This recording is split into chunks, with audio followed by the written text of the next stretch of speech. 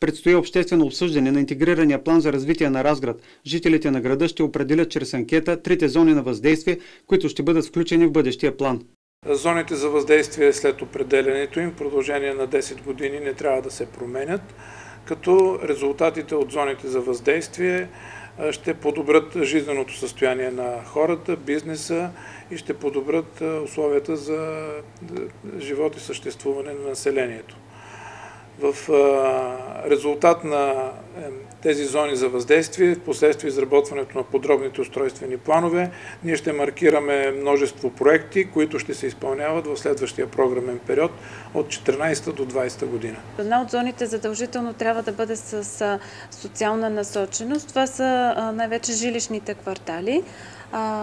Друга зона може да бъде бизнес зона с висок потенциал за развитие и трета зона е добре да бъде зона с висока обществена значимост, като централна градска част или културно-исторически атракции, забележителности, но това най-добре могат да го кажат гражданите. Докладът ще бъде внесен за одобрение в Общинския съвет в Разград, след което ще се премине към следващия етап на проекта.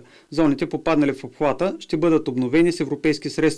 Реализацията на плана е от голямо значение за разградчани, тъй като се предвижда саниране на жилищни сгради, благоустрояване на паркови пространства, построяване на салони за битови услуги, подмяна на светофари, велоалеи, спирки, водопроводи и шадравани.